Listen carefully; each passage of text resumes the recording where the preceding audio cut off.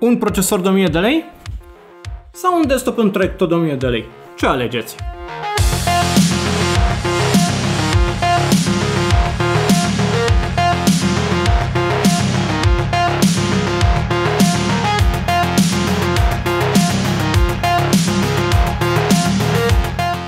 Pentru că știm că plăcile video sunt extrem, extrem, extrem de scumpe și cu greu poți să-ți faci un desktop la un preț rezonabil, așa că noi am ales să mai facem un alt desktop sub 1000 de lei. Da, tot acest desktop a costat sub 1000 de lei. Conține un procesor AMD Athlon 3000G, un procesor cu placă video integrată cu Vega 3. Această placă video își folosește memoria RAM din memoria calculatorului, nu are memorie separată, așa că noi am folosit un kit de 8 GB de la Viper la 3000 de MHz, cel de 16. Am ales acest kit pentru că era cel mai ieftin la ora la care noi ne-am luat componentele, a costat 240 de lei, kitul de memorie, dar aveți șansa să găsiți și mai ieftin. De exemplu, la ora actuală, la PC Garage, un kit de sigilat de la Corsair, tot de 8 GB, tot 3000 de MHz, costă sub 190 de lei. Așa că este o reducere de 50 de lei, doar pentru că este desigilat. Pe lângă procesor, am mai cumpărat și o placă de bază. De fapt, mai bine zis, au fost kit, placă de bază împreună cu procesor.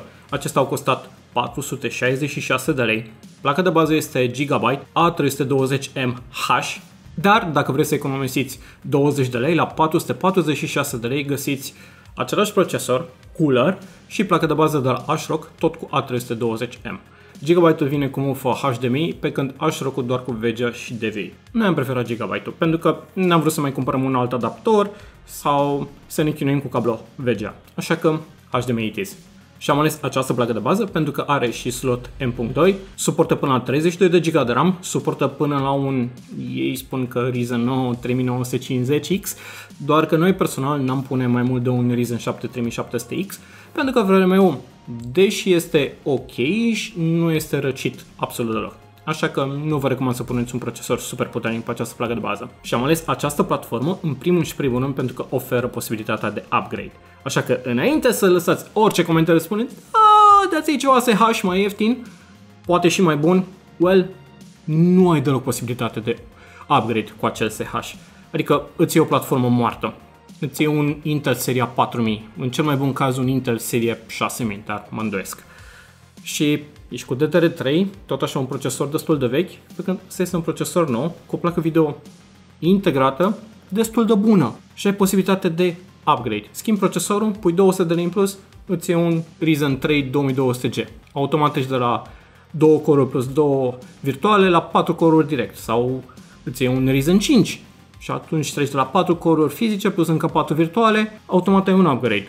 Și dacă vrei mai mult RAM, nicio problemă este DDR4. DDR4 la ora actuală este mai ieftin decât DDR3-ul și se găsește mult mai bine și mult mai repede. Și dacă vrei să pui o altă placă video pe lângă placă video integrată, nicio problemă, ai un slot PCI Express full, poți face acest lucru. Așa că asta este o platformă care îți oferă posibilitatea de upgrade, pe când o generație mai veche nu se mai oferă acest lucru. Dar, haideți să revin la acest calculator. Deci, pe lângă procesor, placă de bază și memorie, mai avem o sursă de la Delta, o sursă bronz, 800 plus bronz, de 350 de W, toată lumea, mă, 350 de W, 350 de W real. Nu vorbim de o sursă de 50 de lei care este de 500 de W și real are 250 de W.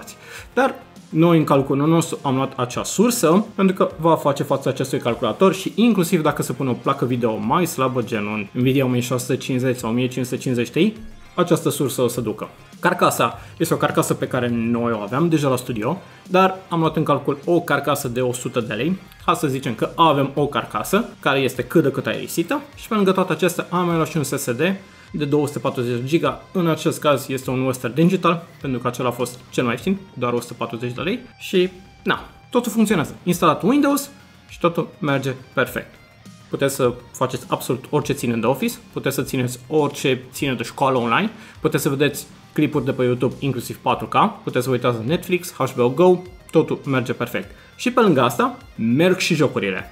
Și haideți să vă spun câteva cuvinte despre jocuri. Am început cu CSGO, pentru că de, este un joc gratis, foarte multă lume se joacă, așa că CSGO.